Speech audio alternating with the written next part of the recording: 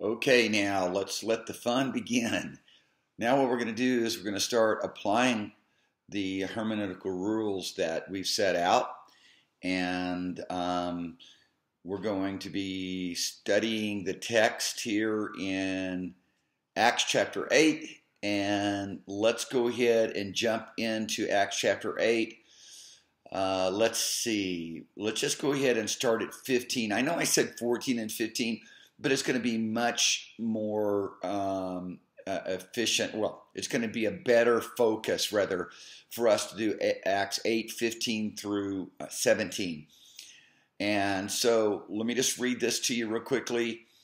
Uh, and it says, Who, when they were come down, prayed for them that they might receive the Holy Ghost.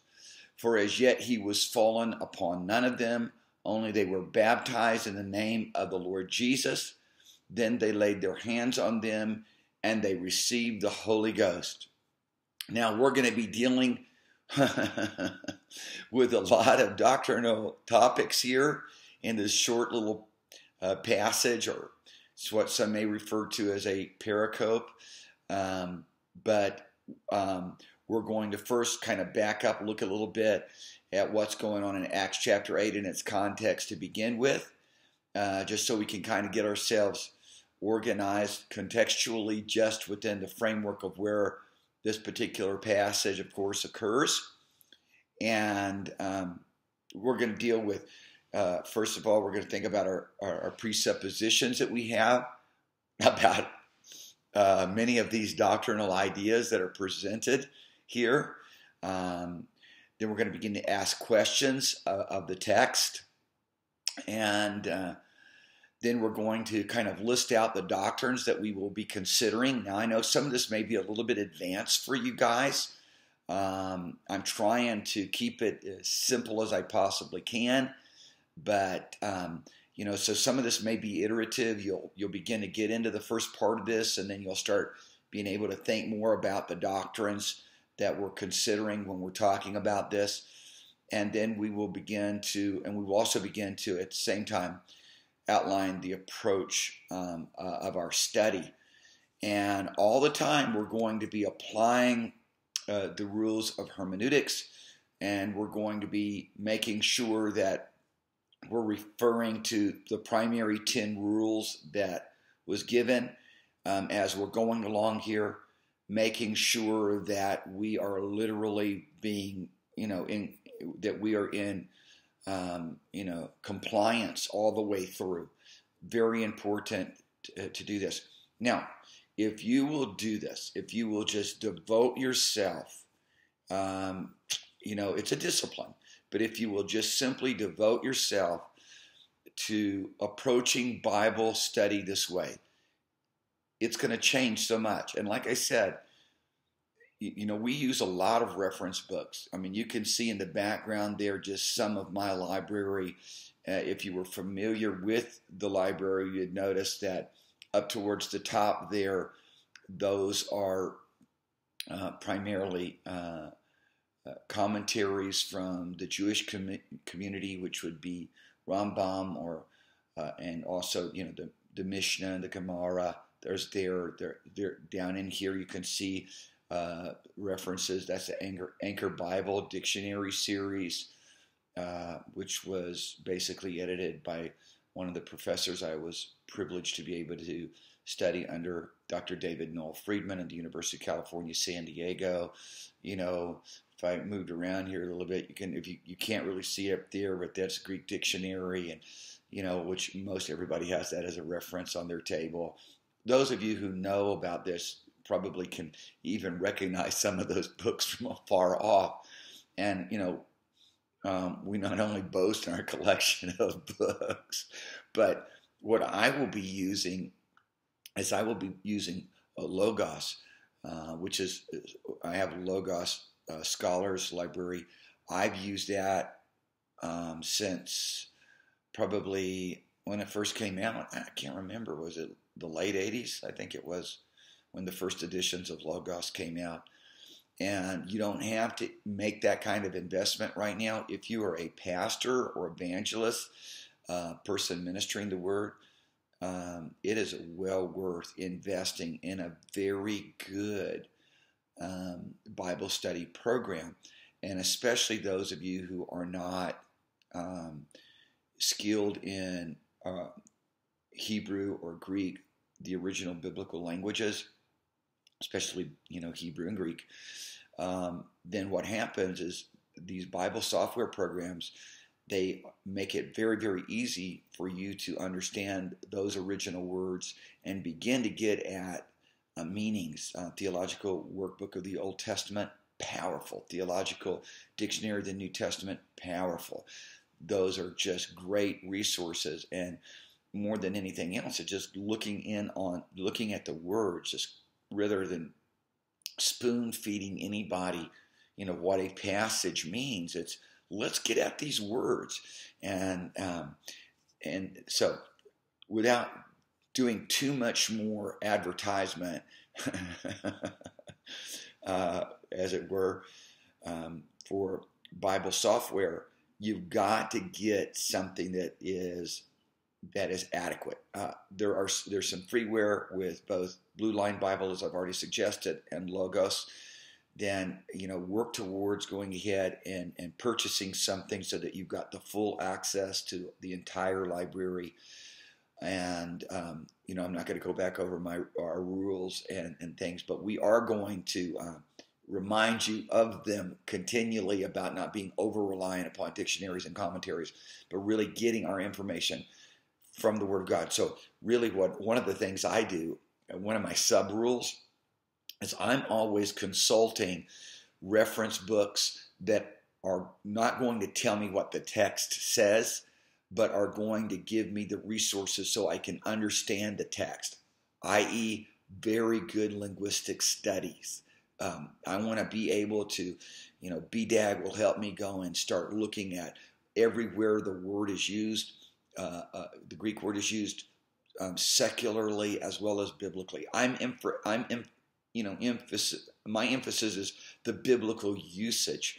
I, I want uh, you know another one of my sub rules is I want precedents set for words um, as they're used in the scripture. And I know there's people who have arguments about this, but their arguments is because they're making different text types you know, they're making different category types. You know, to to say, in other words, you know, this is the the, the this is what the, you know the department, if you would, of the uh, the Gospels has to say. This is the tradition of the of, of the uh, what was going on with those who were part of writing, editing the Book of Acts, epistles, etc. So and of course, we've removed those kinds of categories out of our way uh, in terms of our following our hermeneutical rules. So I'm going after precedents and words.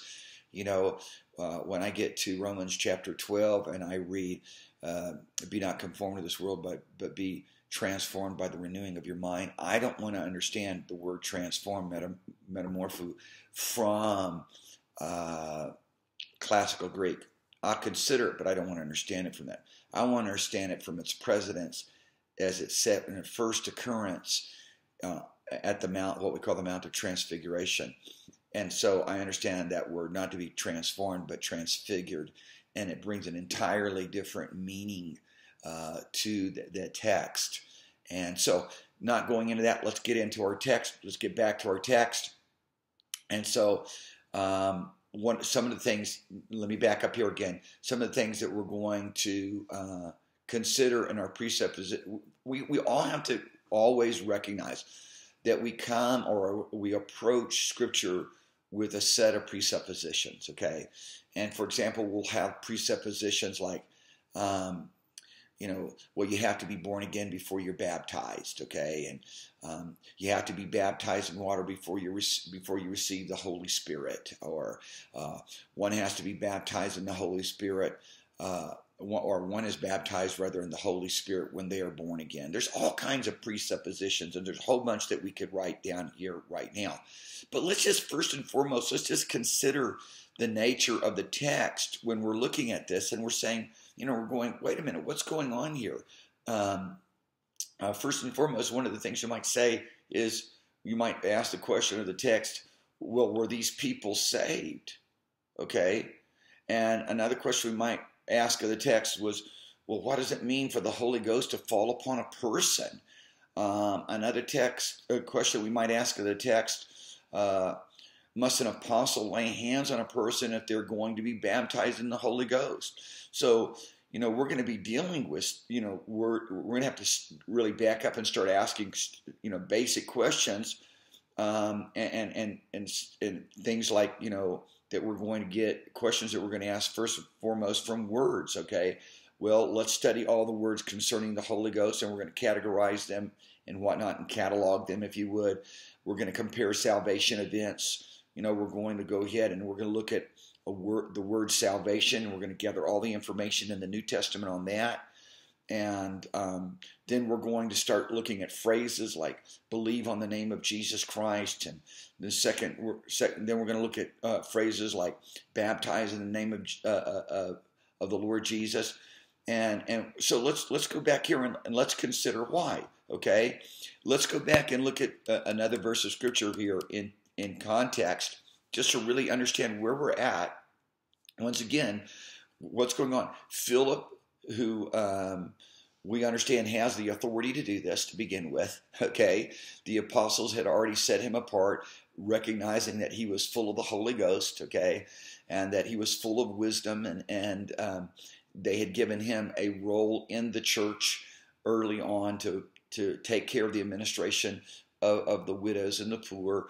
Um, now we see that he's gone out as an evangelist. Uh, we see that not only was he recognized uh, and his legitimacy as a minister of the gospel um, recognized by the apostles and those at the Church of Jerusalem, but now the Lord is bearing him witness. And and so if we back up t- towards the beginning, we find out that when Philip goes down into Samaria, verse 5, the people with one accord gave heed unto him, uh, hearing and seeing the miracles which he did. Unclean spirits came out. So he's just following, you know, this biblical rule that's laid down in Mark 16, 17, which becomes an argument once again for many people once again, you can't edit the scripture just because you don't like the doctrine. You can't say, oh, that somehow it was added on or it was changed. Well, you're going to have to prove that. And there are people have been trying for a long time to prove that Mark 16, 17 doesn't belong in the autograph or, you know, wasn't original. Uh, to uh, what Jesus said, you know, and they haven't proved that. Really, bottom line of it is there's ample evidence, sufficient evidence to validate that it is does indeed belong there. And then here's a verse of scripture that just once again uh, concurs with that because the first thing he's doing, and we're seeing happen in the context of miracles, is unclean spirits are coming out with a loud voice uh, in terms of those who are possessed by them. And many taken with palsy and, uh, and were lame were healed. So the, the lame are, devils are going out, uh, the crippled are being healed my goodness, the power of God is there. So, in other words, these are the works of the Lord Jesus Christ, which continue to go on and function in the church by the empowerment of the Holy Ghost. And we're going to be able to see that a little bit more as we study the Holy Ghost here in, in um, our word study and phrase study to really begin to understand, you know, the, what's what's meant down in these verses of Scripture, verses of Scripture that we're looking at. Now, verse 12 says uh, this concerning uh, the state of their salvation. Of course, we're, we're, we're saying, well, wait a minute, clearly, none of these people have received as it, what we're going to come under, to understand the gift of the Holy Ghost. Okay? In this particular context, it says the Holy Ghost had not fallen on any of them. Well, are they saved? And we've got to ask ourselves then in this, que- this question, and most, one of the most important questions of this text are they saved? Well, the power of the Holy Ghost was certainly present there to do signs and wonders and miracles, okay? and so we then have to find out what does a person need to do in order to be saved? Well, verse 12 gives us a little bit more in context because we read, uh, but when they believed Philip preaching the things concerning uh, the kingdom and and the name of Jesus Christ, so they believed the things concerning the kingdom of God, and they believed on the name of Jesus Christ. They were then baptized, both men and women. So, you know, they're following what most people would consider right there the basic formula. And I think probably one of the more common um, doctrinal doctrinal ideas, doctrinal concepts, doctrinal teachings, maybe even doctrinal revelations that would be agreed upon for the larger part of the various different denominations and groups would be that this is the salvation formula, if you would. And um, some would call it even a baptism formula. You, you hear preach, you hear the preaching of the kingdom of God, you believe on the name of the Lord Jesus Christ, and you're baptized. Are we going to be able to say that these folks were not saved? Well, we want to find that out because, you know, we may have some doctrinal bias that says, no, when you're saved, at the same time, you receive uh, the Holy Ghost. Because we, we, you know, we go back to verse 15, who, when they were come down, prayed for them that they might receive the Holy Ghost, for as yet he, the Holy Spirit, was not had not fallen upon any of them. They were only baptized in the name of the Lord Jesus. And so that's one of the first questions that we want to ask. And, you know, what does it mean to be saved? What do you have to do to be saved? I think that if, number one, if we can parse this out properly, we're going to begin to begin, we're going to begin to move forward in really understanding what's being said here, what is the difference between salvation, for example, and receiving the gift of the Holy Ghost or um, having the Holy Ghost fall upon you. And so, to do this, let's try our best to approach the text without a lot of bias. And boy, is that ever difficult to do because everybody already knows what it means even though they themselves have never really thoroughly studied out what the text says. Usually, what we find, and uh, which is very, very unfortunate, I mean, there's value in being taught the Word of God, but to be indoctrinated to a place, of course, there's value in being taught, being taught the Word of God by someone who knows the Word of God really well. Uh, you know, it's just like any other subject. But to be indoctrinated rather than challenged to verify and prove that these things are true. Wouldn't it be wonderful if pastors, Bible school teachers, Sunday school teachers would, would say, present the Word of God and say, this is what we are convinced the Word of God says, but let's look at all of the arguments and let's be objective in our study the study of the word and really empower all of the students to say guys we might have missed something here so what we're going to do is we're going to lay out for you and we're going to teach you how to study the bible for yourself rather than just depending upon us you know yeah we want everybody to mind the same things and speak the same things but at the same time nobody should be intimidated by probing questions. It, it, that's not rebellion. That's not strife making. That is just simply let's get a hold of what God has said.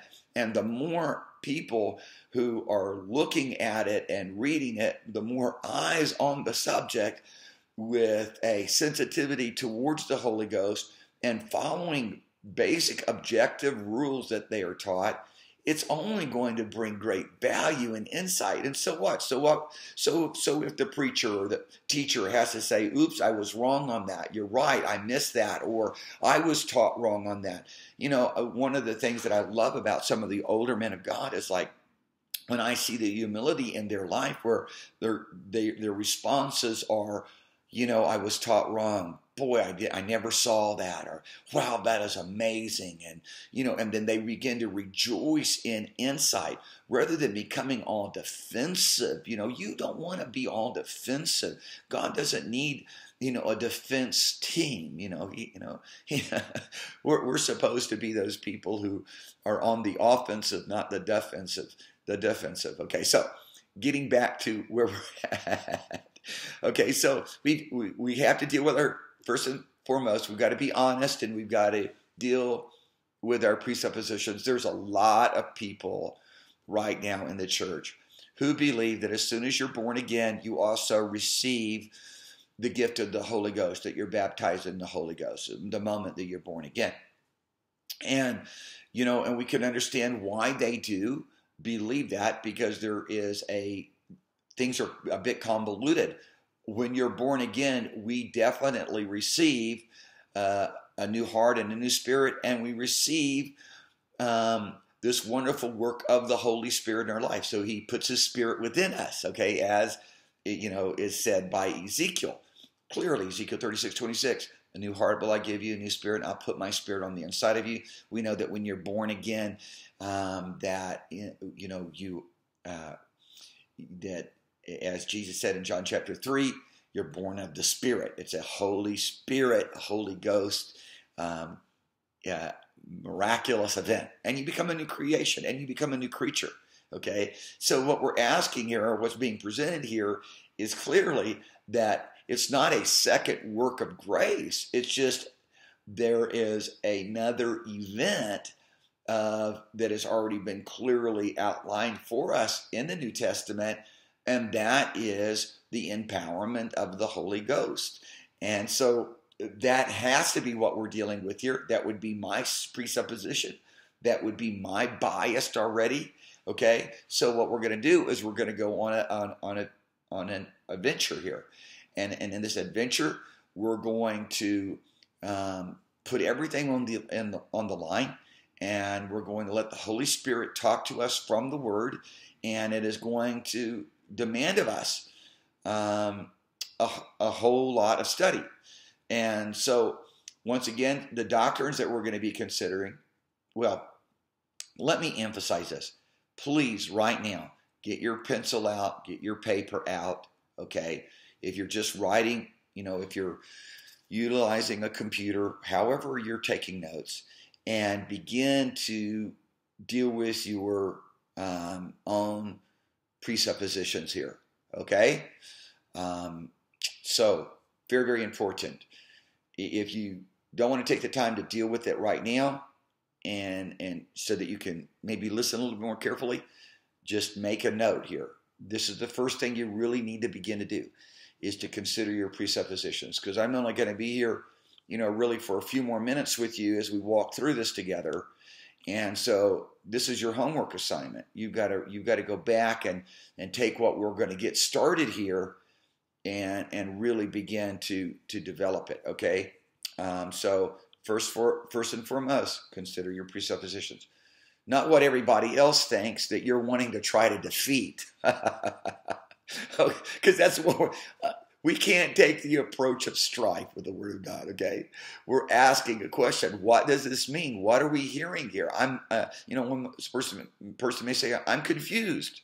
They they heard the gospel of the kingdom. The power of the Holy Ghost is there to save. Obviously, the Holy Ghost is there to heal. He's also there to save, and um, yet, uh, and they've been baptized uh, in in water and uh, yet the Holy Ghost has not yet fallen on them. I'm confused. What does this mean? And so uh, then out of that, you got to say, well, this, these are my presuppositions. Presuppositions. This is what I believe it means. And unfortunately, many people will just stop there. They'll go, "Oh, this is what I believe it means," and you know, because I heard, you know, uh, J. Vernon McGee say, or I heard Billy Graham say, or I, or I heard uh, Kenneth Hagin say, or I heard, uh, or I read in a book that this is what uh, Smith Wigglesworth said, or um, uh, this is what uh, Reinhard Bonnke said, or whatever your favorite teacher, evangelist, preacher, commentator of the scripture Uh, may be. You can't do that. Or this is what my pastor said, or this is what you know, my great grandfather said. He, he, he, this is what he taught my grandfather, taught my father, taught me. No. okay, so hopefully I have really emphasized that and you got it. So we now we begin to ask the questions of the text. Now that we've dealt with our presupposition, the next thing that you've got to start doing is you've got to ask questions of the text. Questions like, were the Samaritans saved? What does it mean for the Holy Ghost to fall upon a person? Are these two different events? You can ask yourself, well, don't we receive the Holy Spirit when we are saved, when we are uh, uh, born again, um, when uh, you know, uh, the basic things of how it happened with your life. When I went up to the altar and responded to the altar call, and I asked Jesus to come into my heart, was I saved? Is salvation really as easy as Paul made it in Acts 16, verse 31? Believe on the Lord Jesus Christ and you shall be saved. You know, these are the questions that we're asking because if we ultimately say yes, that's all you have to do, then we've got to understand something that is also needed and viewed as certainly in this text as it appears essential for the believer to also have the Holy Ghost fall upon them. And so, therefore, how is it different to be born of the Spirit and have the Holy Ghost fall upon you? What does that mean? Is the Holy Ghost falling upon them the same as being empowered by the Holy Spirit? And what are those results when that happens? Do you have to have the apostles lay hands on you? Do I have to have an apostle lay hands on me in order to be baptized in the Holy Ghost? Will that hold up? And all these various different things that we can ask even more uh, questions of the text, but it's certainly an excellent place right there to start. that's a that's a lot of questions. We're going to get more, promise you. Okay, and so you know, and then you know, as I said, you're going to write out the doctrines that uh, we will be considering. And maybe, once again, at, at, first glance, you just don't have as much familiarity with all of the doctrines, important, essential doctrines, things that we might even classify as cardinal doctrines. Uh, that's a, the doctrine of salvation is huge. I mean, that's fundamental. That's the most important doctrine. Okay, that you know the doctrine of the baptismal form, baptism formula. How must you be baptized? And you know, is there different traditions? Is there a Gospels traditions versus an Acts tradition versus an Epistles tradition that are unique traditions that were basically groups that believe different things? Well, that violates our hermeneutical rules. So we're not going to believe in different traditions. We're believing that there's one author who's declaring these things to us, and we're not going to back down from that, okay? So, okay, now let's begin to take an approach for the study of study. So let's begin to say, okay, let's ask ourselves the question of this. Let's ask ourselves this question. What are the most important words here that we want to begin to flesh out? Okay. And um, then what are the most important phrases that we want to flesh out? And then what are the things that seem to be most maybe contradictory to us that we that we want to really begin to examine? And so what I'm going to do is, you know, I'm going to create for us here uh, an approach to study. And, and obviously, it's not the only approach. I want you to consider what approach you might use. You might want to use different words uh, than uh, or include other search words and other search phrases and other comparisons. But these certainly are some of the more important ones. And so the first one that I'm going to say is let's do a word study on the Holy Ghost, okay? That's number one. Uh, number two is, and, and I'm going to give these notes for you um, also on my Facebook. And if you're in the class, you're going to get these notes and, and, other notes as well. But um, uh, number one, we're going to we're going to study the Holy Ghost. We're gonna we're gonna put in our search engine just Holy Ghost, and then we're gonna go through and we're going to categorize everything that we read about the Holy Ghost. Okay, somebody says, "Whoa, that's going to be a lot of work." of course it is. And the reality of it is, do you want to understand what the Bible says or do you want to understand what men say about the Bible? They may be right, but they may be wrong, okay? and so, you know, why do we have so many different denominations? Why do we have so many different people believe in so many different things? It's not because the scriptures for private interpretation. It's not because the Bible is saying a bunch of different things. It's because people been became disciples of men. You know, people became disciples of Luther Luther was a great guy, great Reformationist. People became disciples of Huss, great man. John Huss, great man. People became disciples of Calvin, great man. Fine, wonderful things that he, you know, he, he he may have had, things that he may have said that were good. But you know, people became disciples of John Wesley and John and Charles Wesley. Uh, we can go on and on and on. Okay, and but what we want, it, it, we don't want to just ignore what everybody else says. We don't want to be somehow like troublemakers and people causing strife and, you know, but we want to know. We just want to we want to prove it. We want to prove it from the word of God. We want to learn how to be disciples of the Word of God. Disciples of God, not disciples of men. That doesn't make us oppose anyone. That doesn't make us critical. And if you get criticism here, if you start being critical, oh, I'm not sure that's right. That doesn't sound right to me. You know, wait a minute. I mean, that's, you know, in many respects, that is so ignorant. It's like a person sitting in uh, multivariable equations class maybe let's not go that far. Let's just say not, we're not even studying multivariables. You're studying calculus, intro to calculus. And you didn't even do well, you know, in basic math. And now you're saying that doesn't sound right to me as infinity, as zero approaches infinity. What's that all about? Okay, f of x. Oh, I'm not going to get into calculus. Okay, now, you know, hold myself back. Okay, the bottom line of it is hold up we don't want to be that kind of people with that kind of nature, being critical. We want to be students walking in a in a in a a broken uh, and and needy uh, way before the Lord, being just needy. Okay, being those who, as the Scripture says, who uh, are poor and contrite and are trembling at the Word of God.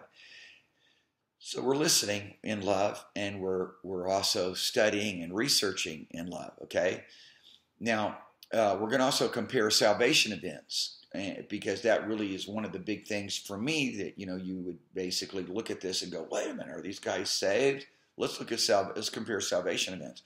You know, let's compare the salvation events as it taught as it's taught by Peter next uh, 238. We'll come back to this as well.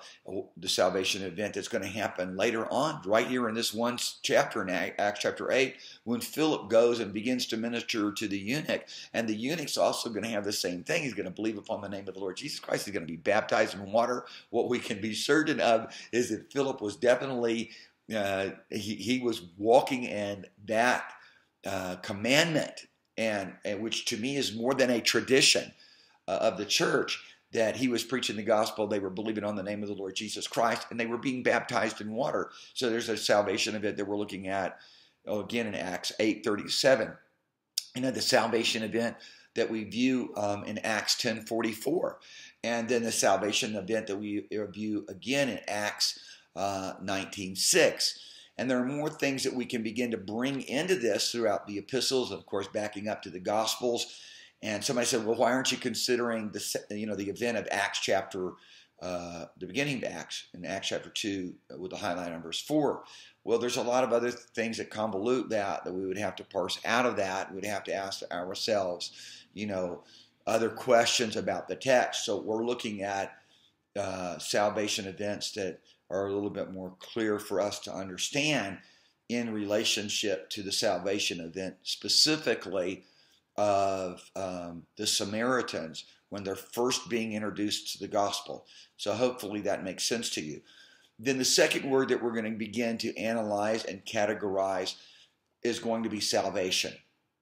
And once again, uh, we're going to then have to also deal with, um, especially in salvation, we're going to have to deal with um, other synonyms of salvation uh, to be saved. Okay, uh, especially, uh, is, is a very, very important one.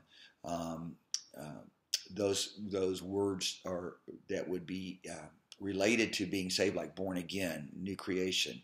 Um, then we're going to also deal with phrase, uh, the phrase here that is very important: believe on the name of Jesus Christ, because that back in verse twelve of Acts chapter eight helps us to validate that these folks believed on the name of Jesus and they were baptized. And one of our questions should be is that all you need to do to be saved? And do you need to do all of that to be saved? Okay. And does it have to work that way? uh, is the Bible going to lock down for us a formula that is never violated? Ooh, that's going to be a strong one. Okay. Um, are there going to be two or three witnesses in the scripture of where these things happen in the exact same way to everybody? Or is it broader than that? Once again, challenging questions, huh?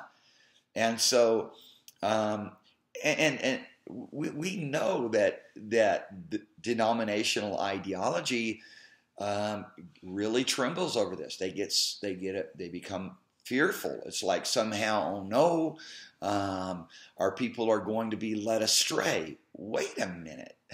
the Word of God is not going to lead us astray. And people studying the Word of God are going to find themselves under authority and in submission to authority. But that doesn't mean that you can't ask questions. And, and, and you also should be demanding an answer, and we should be ready to give an answer to everybody who asks us concerning the hope that is within us. Therefore, that's why we have to be those who are studious with the Word of God. Study to show yourself, you know, approved. Those who rightly divide the word of truth. And it's not just you know, dividing Old Testament from New Testament. It's simply understanding the whole counsel of God here. So don't be afraid, teacher, preacher, denominational leader. There's nothing to be, there's nothing to fear other than maybe your doctrinal bias really is actually, you know, not in keeping with the Word of God. And if any of my doctrinal presuppositions are not in keeping with the Word of God, I want them to change. I want them out of my life because I want to be able to move on with God. I want to move on in the miracle authority of His Word. I want to be in compliance with God. I want to be obeying Him. I want to be doing it His way, not trying up to uphold my bias. And and you know, and I'm studying the Word of God. I'm studying these subjects again um, after having studied them many, many times. And I'm not going to approach these, this subject going, oh, I already know this, and you know, I've already got this all locked down, you know, sewed up. You know, I'm, I'm anticipating being taught of of the of the Holy Ghost, being taught, and He's going to teach us by causing us to more clearly see the whole counsel of God as it is presented in the Word. I'm not going to look for extra biblical um, uh, information and or believe extra biblical doctrines. And most of us will say that, yet many of the doctrines that we have are distilled extra biblically, and they're from uh, other reference books, other beliefs, other commentaries, what somebody else said. Oh, well, you got to look at it this way you know, on and on and on, the various different things that people say.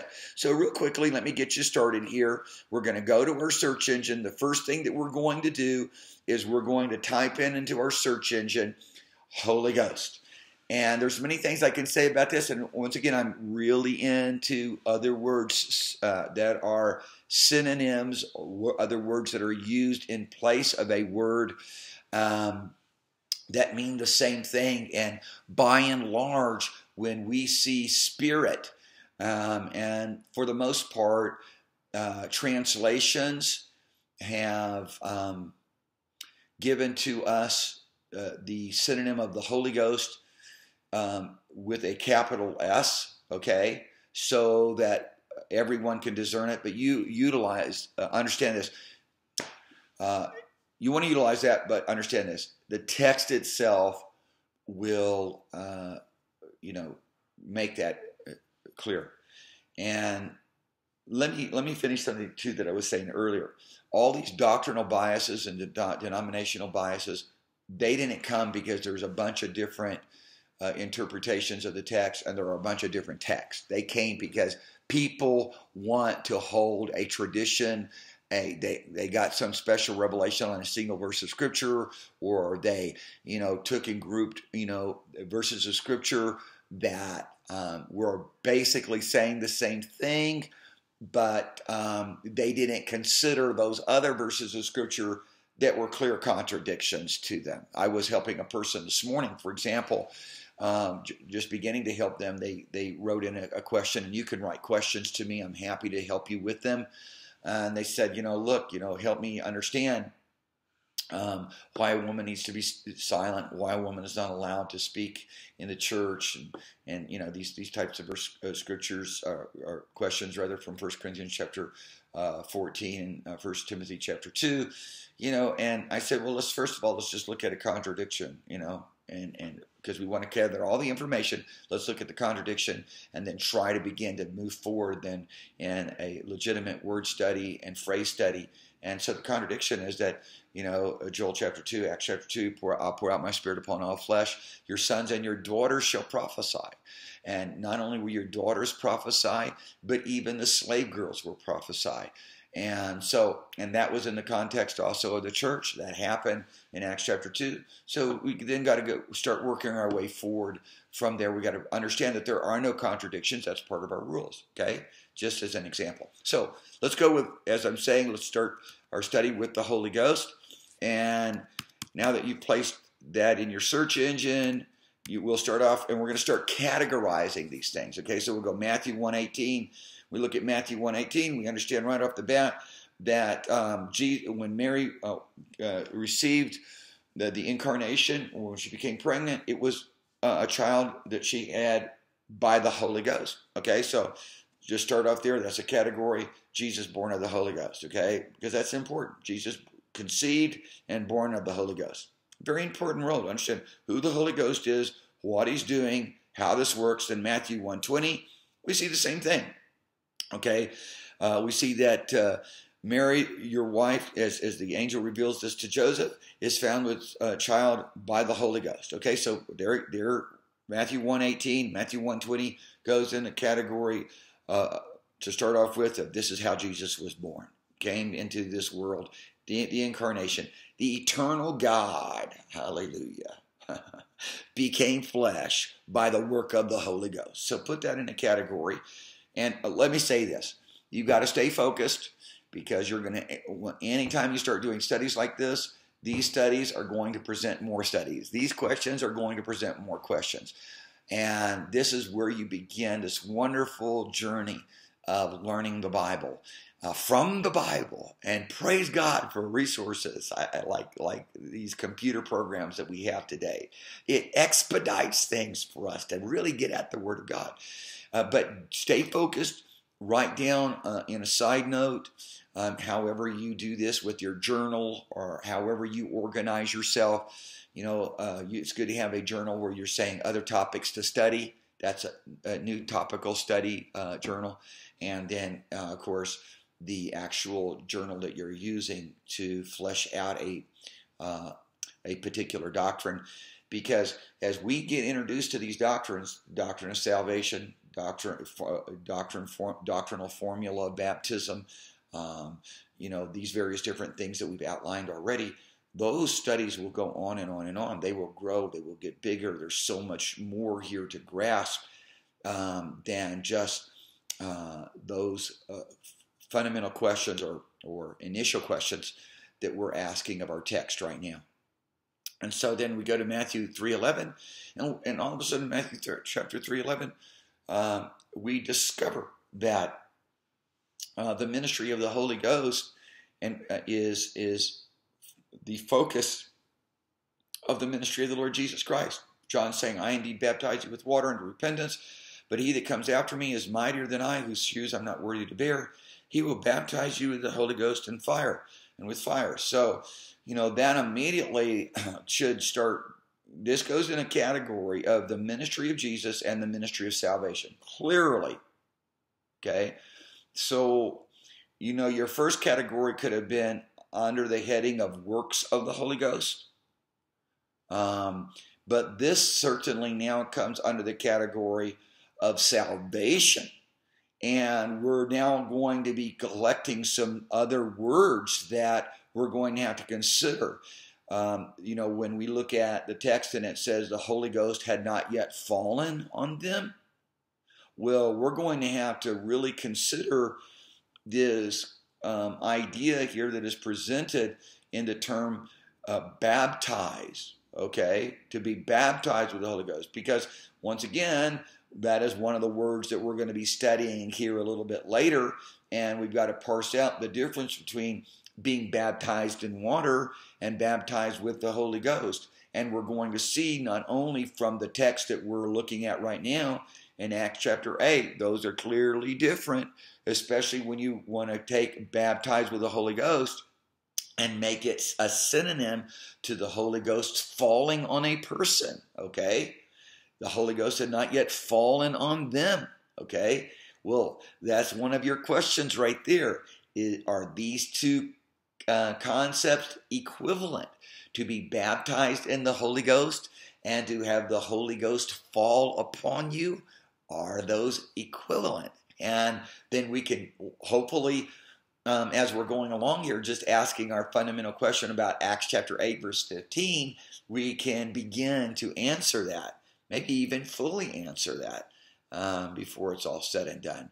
But as these, once again, um, many questions are going to pop up. They should pop up as you're as you're uh, going through this exercise, and of course, um, when we start getting in, into a place where we're referencing commentaries on the subject, uh, then more questions are going to pop up.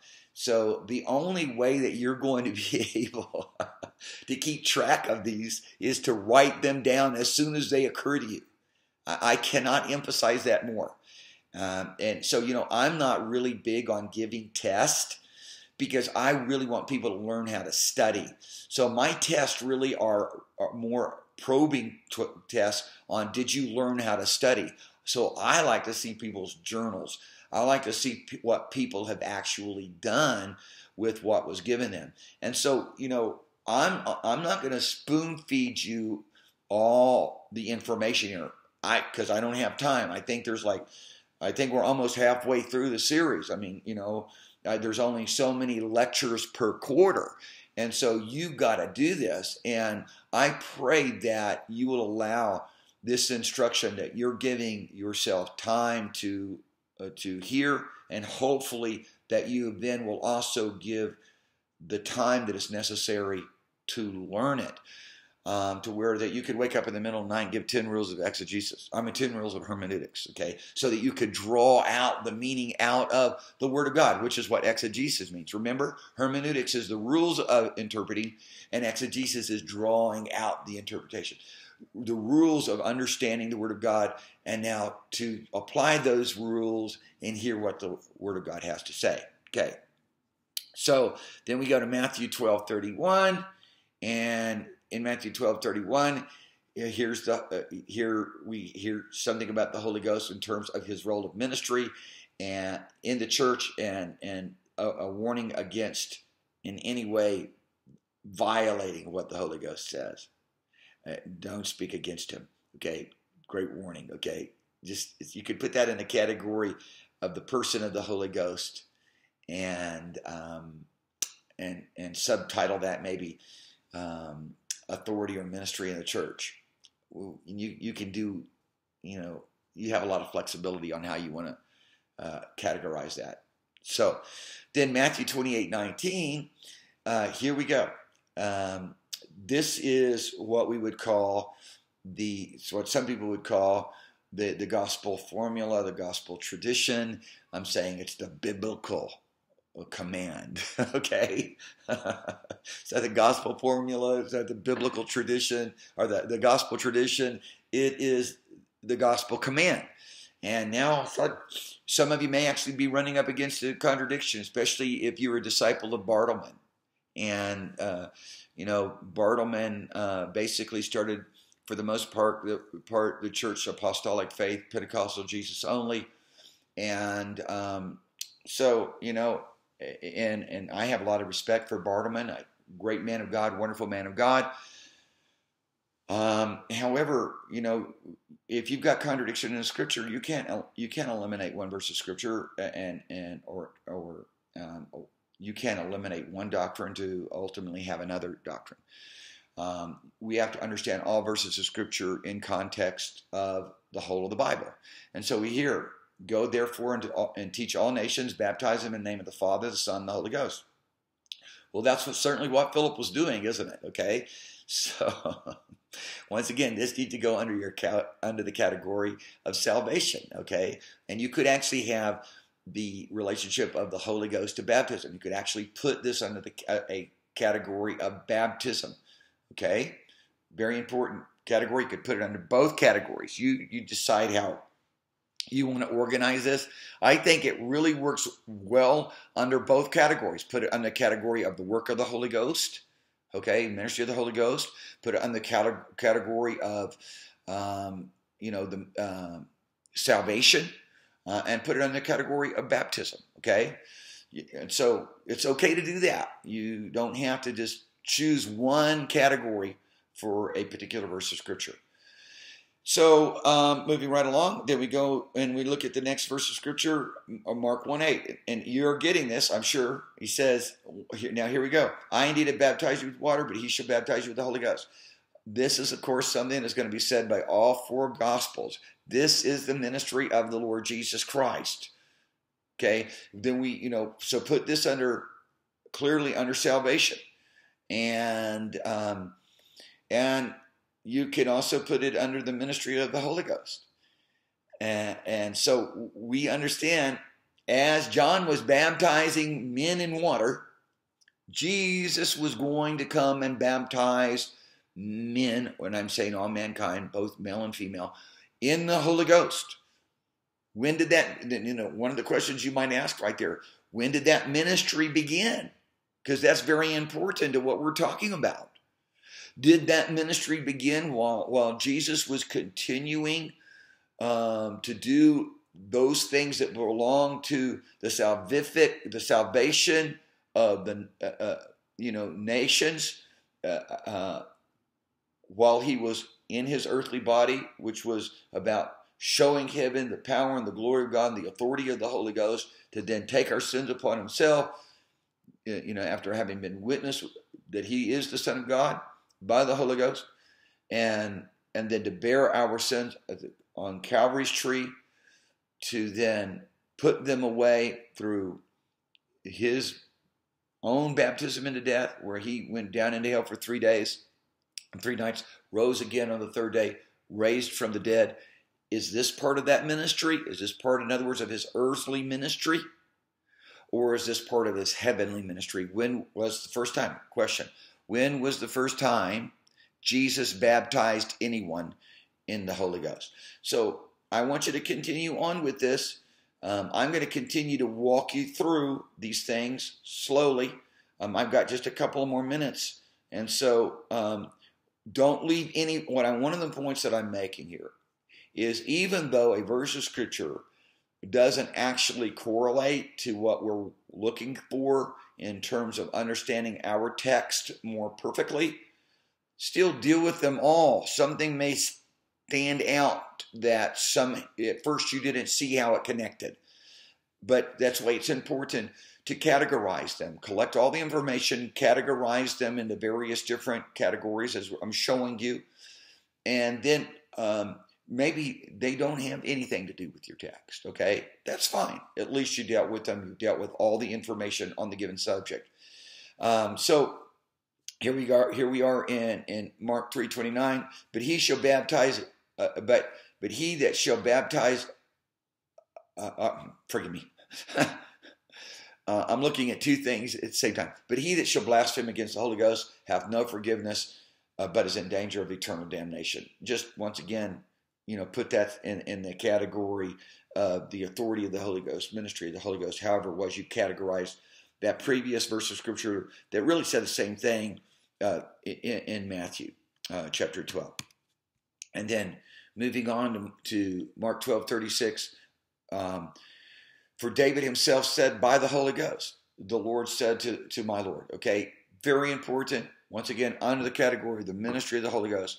Here we get to see that the ministry of the Holy Ghost did not just start with the church, that the ministry of the Holy Ghost actually started long ago, and it was uh, the means by which David spoke the word that we have uh, recorded in the Psalms.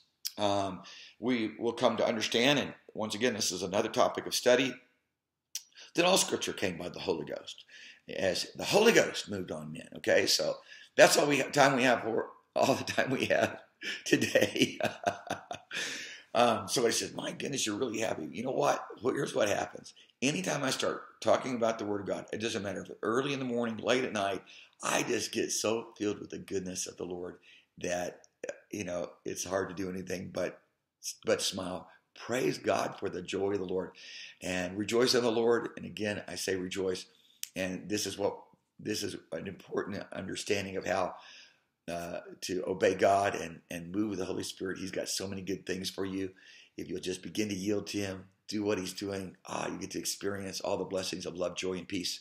The Lord bless you. We love all of you. Have a wonderful day in Jesus' name.